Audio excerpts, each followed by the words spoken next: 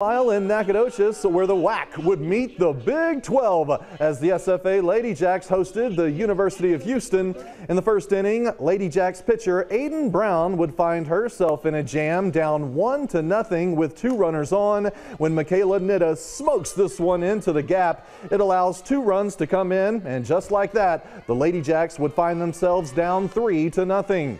SFA needing to get something going when Ellie Vance with a runner on second manages to sneak one through the infield. That gets a runner across and cuts the lead down.